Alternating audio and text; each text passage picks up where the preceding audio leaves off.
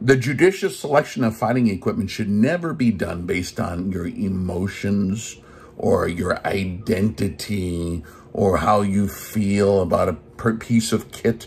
If your feelings are involved in any way in your selection of your tools, that tells us a lot about you.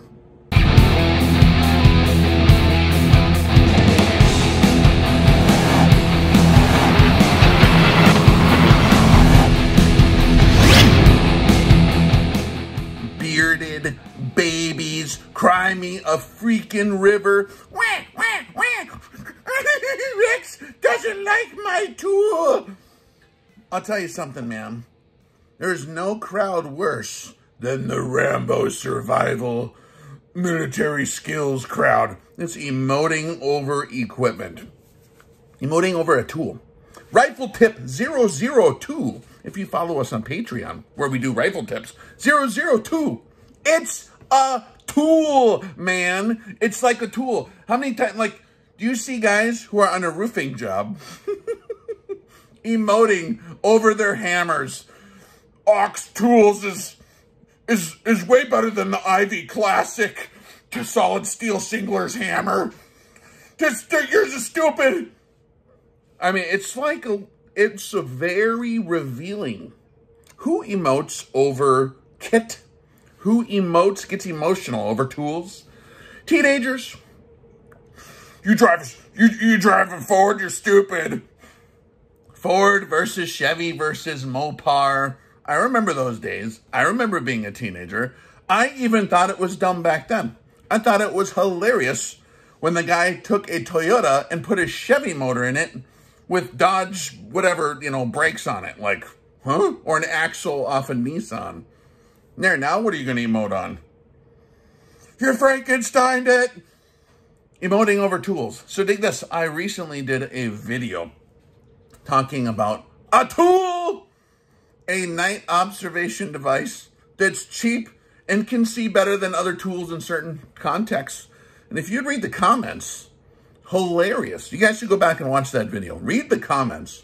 In fact, those comment sections I often reserve for training purposes on my Patreon channel where we make fun of bearded babies. Huge beard, Rrr, tactical, huge, awesome beard, really, really loud about how many times they watched, I don't know, Zero Dark 30. There you go.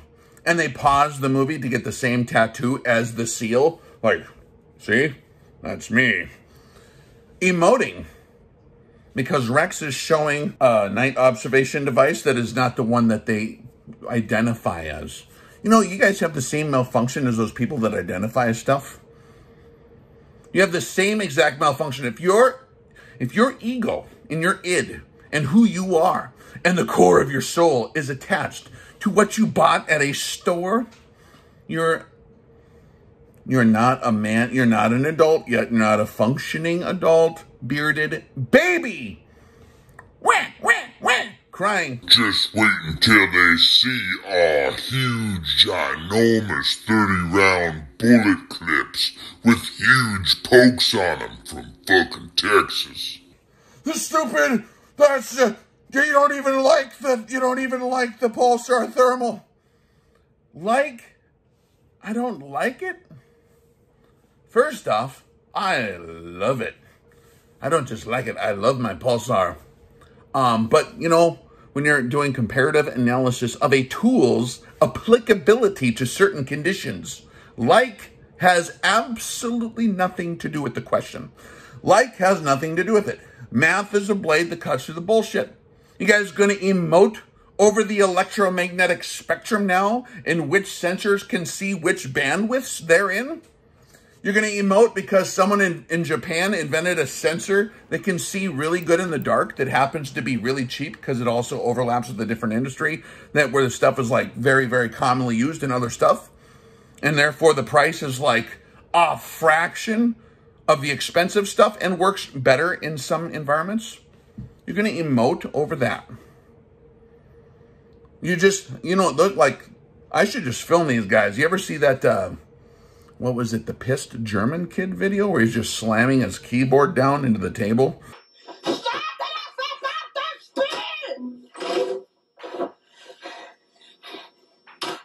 And screaming obscenities in German because he's losing his Nintendo game. That's you guys. When you're watching a Rex video, yeah, guys, this fucking fruit. Just how could you possibly have your day ruined by Rex saying, "Hey guys, Rex here." Here is a picture of the Arken Zulus 5 to 20 digital day-night scope next, which is only like $500." next to a $5,000 thermal unit. Amazing. This cheap one in a low contrast environment works better than the expensive one. It's not my fault. you get emotional. Reading through the comments, man, Rex, this apples and oranges. You can't compare those. I know. It is apples and oranges, isn't it? Digital day-night scopes have complete different design different capabilities than a thermal sight. That is part of what they call, and you guys should buy this thing called Webster's Dictionary, my demonstration. Rex's demonstration, where I demonstrate the different applicabilities of different tools and how they overlap in your overall system. I'm saying this thing works incredibly well in a diversity of environments. This one works great until you have a low thermal contrast environment. And then you can't see nothing. And, well, you probably just waited. And you, sure, of course you filmed when you couldn't even see nothing. Why are you emotional? Why are you emotional about the electromagnetic spectrum and how infrared rays emit off of stuff with different emissivity? And that the, sensor and the, and the design is a little bit different and that when it's everything's even temperature, you can't see the contrast depending on how it's set up. Why are you emotional about that? It's absurd to an adult. I've seen this in every category, especially it's terrible in the quote unquote gun industry. I'm wearing the same underpants as the air surface nuclear marines wear. How about that, sucker? freaking babies emoting over your tools. My pistol's cooler than yours. No, my Uzi's better. I got you. No, you didn't. I remember playing Red Dawn with my cousins where we argued about who had the cooler, you know. You know, actually, we didn't even. We're too busy fighting the Russians. Running around the railroad tracks at like one in the morning with all our like face paint on, like trying to kill the Russians with their plastic Uzis. And just because uh, the private over here had a Mac 10, you know, in the 80s, like the really heavy duty toy Uzis, or not a Uzi, but a Mac 10. You don't even know the difference between Uzi and a Mac 10. And I had the 03 Springfield, you know, the wood and metal one Close with it. the with the projectile in there. It looks like you're really loading it. And then what did the captain have? I think he had a Mauser broom handle. It was like a modified uh, Han Solo thing that was painted black, so it looked like a like a, you know what I mean? Emoting, emoting over. We didn't even do that as kids. Unbelievable. Tell you something. If you guys have questions on the use and selection of said equipment that I'm trying to just show you, hey guys, here's a different kind of tool for pulling nails. You can just pinch it like this, and the arm is the pincher, and you rock it, and it pulls right out. Guess it's not even as good as my my claw can do that. My claw hammer. Okay, then go do it with your claw hammer, man. I can do it with a mallet. I got a vice grip, Rex. What president let all the cuckoos out of the cuckoo farm and just turned them loose into the streets and then they probably all reproduced and made a bunch of freaking bearded babies and fed them a steady diet of television cartoons? And then at school told them that you're somebody special. And so now they pipe in with their expertise on war fighting. None of them been in a war. Dude, how about this one? Rex, you're it's not even you can't you you're going to use that in combat, Rex. You tell me you're going to just turn on your IR illuminator in combat. Like, dude, when's the last you know, I was talking to my bro, Sam. If you don't know who that is, you can go check him out. Laughing his ass off at your guys' comments. Like, I never fought a first world enemy with night vision. But how many times have you done that? Is do you in your mind, you think you just turn on your IR illuminator and just walk around like on just shining everywhere? If that's the way you think that stuff is employed, you're only revealing your lack, incredible lack of experience. All the privates coming out of, what is it, basic training now? Like even probably the water purification specialists, I think they train on night vision and basic now, don't they? Basic training? I know the infantry does. That's what I heard. We never had night vision when I was in basic training. It was the old A2. You know what I mean? Like, but um, I bet you even the privates now, the 17 year old privates are just laughing their asses off reading your guys' comments about like, you can't just turn on infrared in combat. What the heck? They use it. They've been using it for 20 years. The world's changed, Rex. You know, the like the Chinese and the Iranians and I'm not going to listen to this. I'm not going to hear you now. I'm not going to listen to this. I'm not going to hear you now. Rambo is good. Rambo is our pal. You guys need to calm down on that stuff. You need to lay off the wacky tobacco too. If you get that emotional over tool selection, man, I see it in precision rifle circles. Guys, Kahles is better than Vortex. Vortex is stupid. Nuh-uh. Real snappers use whirlwind scopes. I heard from my uncle who's a Marine. All those years where it was kind of an inside joke, where I would make a little bit of fun of super popular scope companies, I have Vortex scopes too. I also have them. Guys think I'm hating on them. I'm not. You're just acting like an emotional girl because someone's not excited about your kit. It's like the kid that walks out there, hey guys, see what I got? Like, what? We're at the gun range, we're practicing. Did you see? See what? Look, I got new scope mount. It's, it's way better than the normal ones. Good job. You hit click on a freaking buy now button on whateverbroker.com. Good job. Hmm? Do you want um do you want um, a banana sticker? Because you bought a cool piece of kit? This is what this this is what the Marines used, Rex. I heard the, I heard that the Marine, Marines deploy with this pen, and they can stab people in the face with this pen. Am I just gonna go out and buy that that exact model pen and then just emote when I see someone with a bic? You can't. I see you don't even have a you don't even have the same kind of pen. You can't even start a fire with that pen. Bic is stupid. You don't even know nothing about the field, man. Peanut brain syndrome is rampant in the United States of America 2024. And these guys think they're going to go and fight off the Martians and fight off the, the space aliens and fight off the, the United States, whatever. Okay. I'm just gonna I'm just gonna be growing my garden still. You can't even use that for tactical combat operations, Rex, because it's not what the Marines have. I'm not in a tactical combat operation. I'm in a farmstead where there are night creatures which try to destroy my farmstead, so then I shoot the night creatures.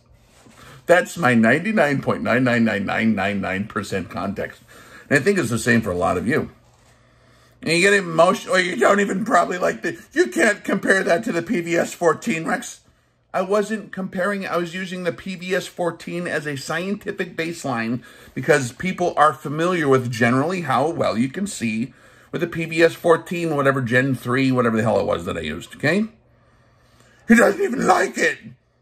Like has nothing to do with it. It's a tool. It's a tool. Are you going to put the shingles down on the roof? Or are you going to keep looking at your neighbor's tool belt and just getting bent out of shape? Unbelievable. You guys crack me up. Freaking hilarious. Should I read some of the questions? There were some good questions on the video I did. Now, for I'll leave the reference video in the link below and maybe in the comments. It is titled, Which Can See Better in the Dark?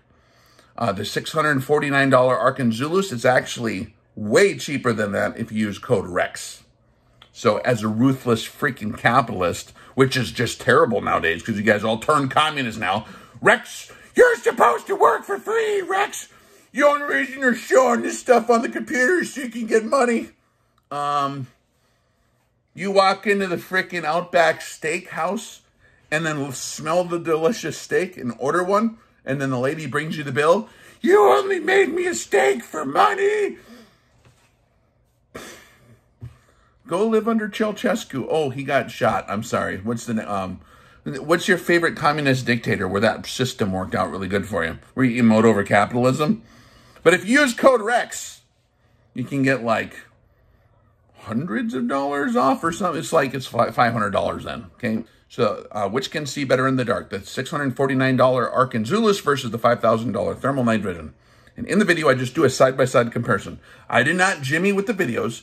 I did not edit the settings to like bring the contrast up. I set both scopes and adjusted them to see as clearly as possible. I didn't look on the weather radar to select the perfect night where there would be a huge difference between the two. I just literally was like, I wonder how this compares to this other one. I wonder how this new, extremely cheap digital night vision that's cheap compares to like a five thousand my five thousand dollar unit, by the way, which I've used to fill garbage dumpsters full of varmints. I've shot so much stuff with that thing.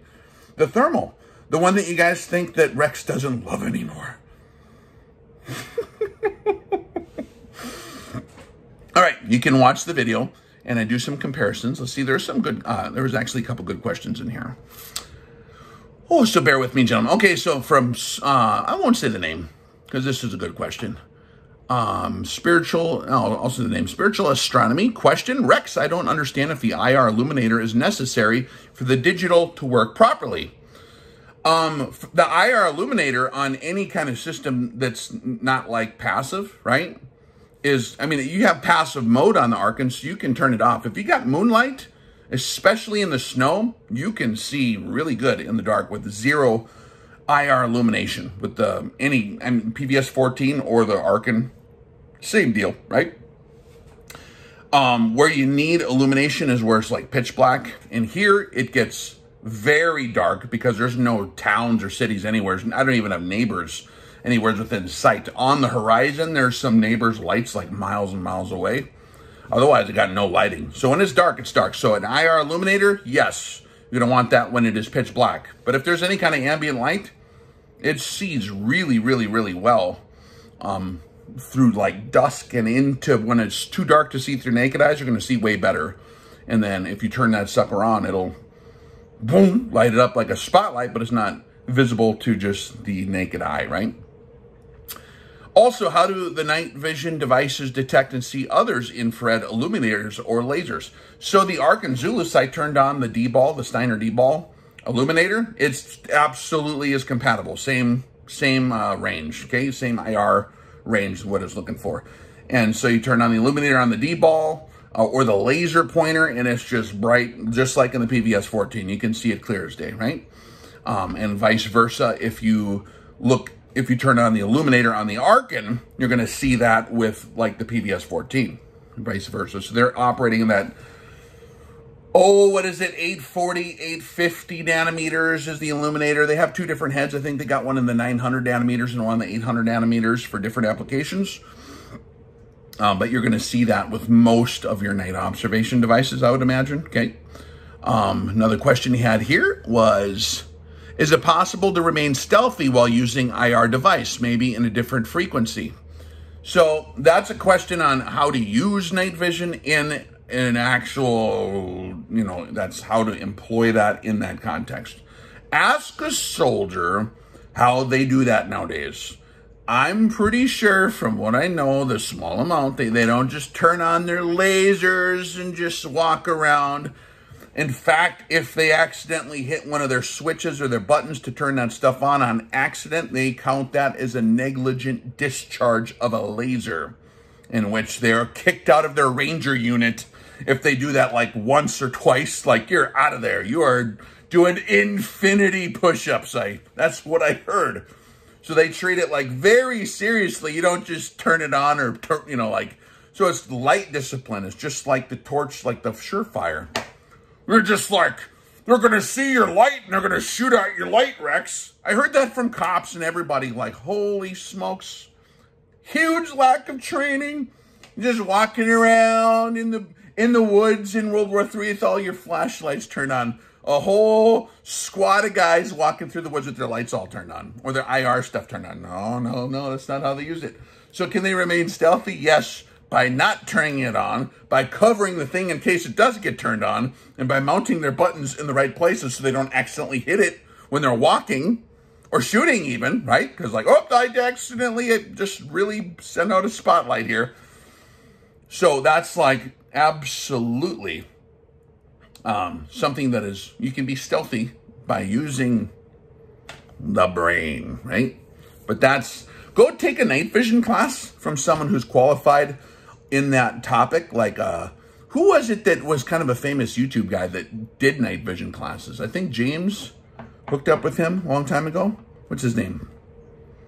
Oh, gosh darn it. He's the guy which kind of like the, the Christian guy, the Bible guy. Poet, poet warrior? John Lovell, is that his name?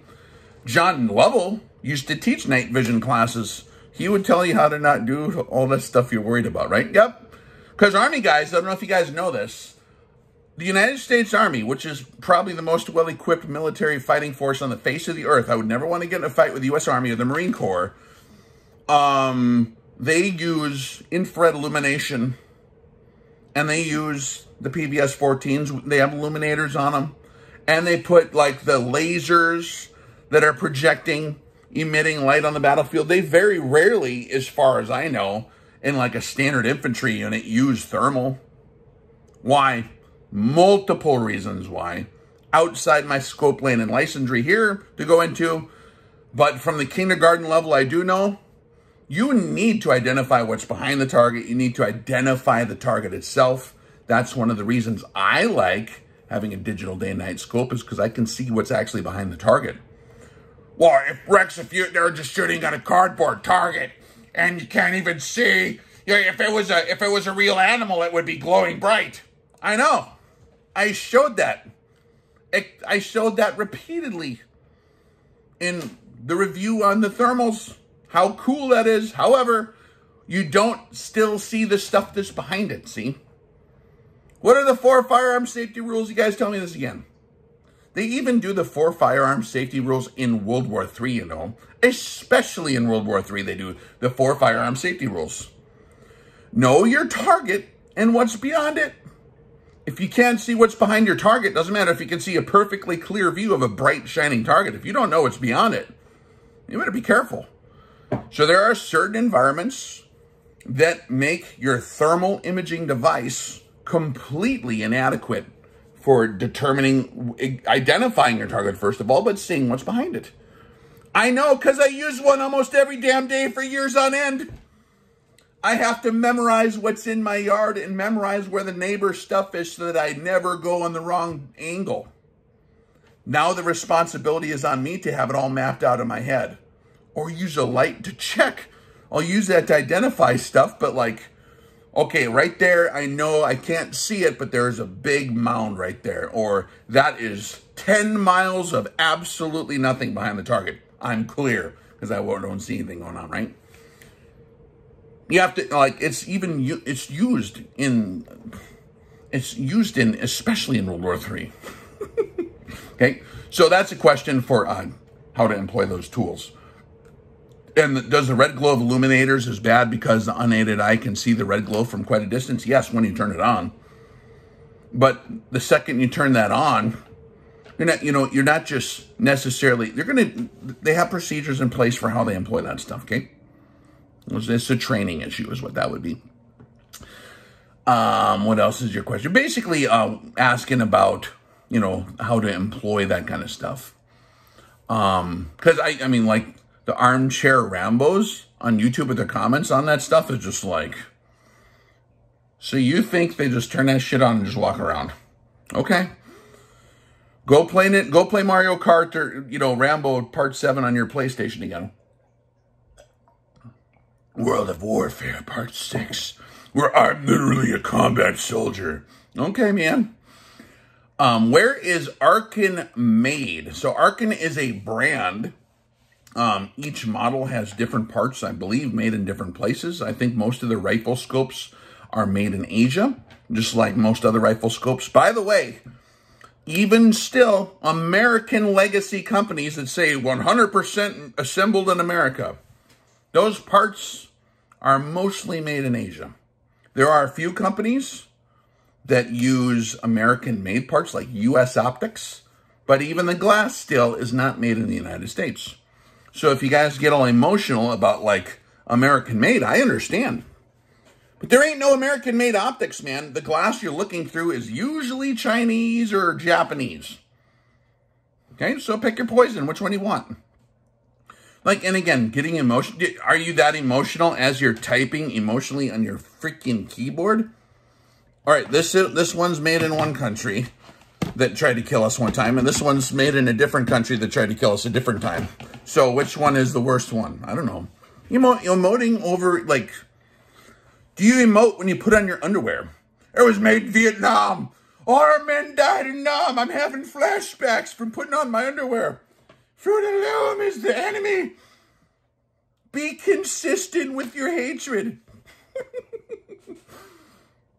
oh my goodness gracious. I'll tell you something, right? Another question. You're comparing thermal to a night vision on a cold target. Right? Good job, Rex. Yeah, I know. That's the comparison. I'm not, if I wanted to test between day-night scopes, then I would have a bunch of day-night scopes all there and we would see which one of them was better. But I didn't buy other day-night scopes because they're too expensive to get one that would work. So I got the cheap one that works. Use code REX. you guys are making my work too easy. Rex is just trying to sell stuff. I have these comments I click on it. The guy's like, he's just very disingenuous, and he's not even talking about the the other brand. That's and I click on the guy's thing. He has a storefront. He's literally has a, he's a competitor. Ruthless capitalist. I can respect that. I can respect a ruthless capitalist entering into mortal combat with Rex. But I have a different strategy myself. I just show you excellent stuff that I think is really good. And then if you don't like it, I don't care because I have multiple other flows of income. That's not my pet thing that I need to do, okay? Oh, what was another one here? Apples and oranges uh, and clickbait. Don't click on it. Why did you bite on the fishing hook? If that's the if that's really the case, why are you biting on fishing hooks then? Are you that dumb? Stop it. You guys just are funny, right? There are many of us that are adults, and we're just going to straight up use whatever works. And I don't get emotional when I pick up a screwdriver that's made in Taiwan. I don't get, if I get political over a screwdriver made in Taiwan, that's on me, period. Rex out. Just go right here, click to redeem your code, enter code REX. Boom, apply. Holy moly! It went down $162.50. Now continue to